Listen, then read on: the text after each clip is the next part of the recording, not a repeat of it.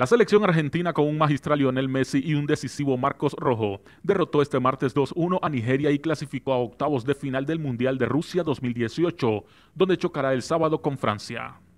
Los dirigidos por Jorge Sampaoli necesitaban ganar a las Super Águilas para seguir con vida en el torneo y empezaron bien con el primer tanto de Lionel Messi en Rusia 2018 a los 14 minutos de juego pero Nigeria respondió tras el descanso al convertir un penal por vía de Víctor Moses a los 51, quedando momentáneamente como segunda clasificada. Con el boleto pendiendo de un hilo, Argentina se lanzó al ataque en el último tramo de partido, finalmente inclinando la balanza mediante rojo. De esta forma, Argentina ganó 2-1 y está en octavos de final para enfrentarse a Francia el próximo sábado. En el otro juego del grupo, Croacia venció a Islandia por 2-1 y avanzó primera en el grupo D, y con puntaje perfecto a octavos de final, donde se enfrentará a Dinamarca, segunda del grupo C.